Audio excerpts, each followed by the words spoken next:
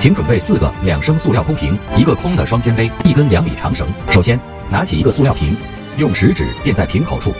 用绳子在瓶口处缠绕三圈，将绳子从手指与瓶子之间的缝隙中穿过，抽出手指，拉紧绳子并打结，然后将绳子固定在瓶子上。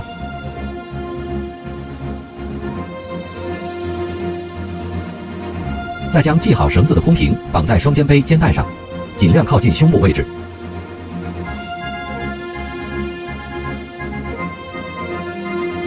另一边的肩带上也用同样的方法绑好空瓶。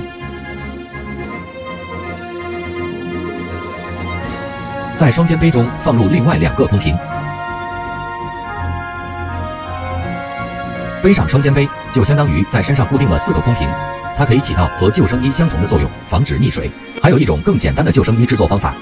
首先，准备十个五百毫升的塑料空瓶，打开瓶盖，将瓶子塞到衣服中，拿到胸部左右位置后，从衣服外面拧上瓶盖。重复上述动作，在胸前固定五个空瓶，在后背固定五个空瓶，在腰部系一根绳子，就可以将空瓶与身体固定在一起。如果是儿童，仅需八个空瓶即可做成简易救生衣。